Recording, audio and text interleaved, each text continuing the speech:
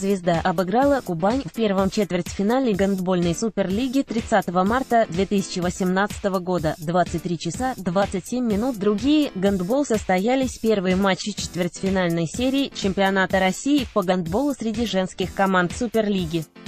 Интрига зародилась только в противостоянии Звенигородской «Звезды» и Краснодарской «Кубани». Пятая команда регулярного чемпионата на своей площадке нанесла поражение подопечным Евгения Трефилова, занявшим четвертое место, со счетом 31-25. Самой результативной в составе хозяек площадки стала Арина Закордонская, забившая 6 мячей. Гандбол, чемпионат России, женщины, Суперлига, 1-4 финала, первые матчи, Звезда, Звенигород, Кубань, Краснодар, 31, 25, 17 часов 10 минут, Динамо Синара, Волгоград, Лада, Тольятти, 18 часов 33 минуты, 10 часов 17 минут. Университет Ижевск, Астраханочка, 24 часа 34 минуты, 10 часов 18 минут.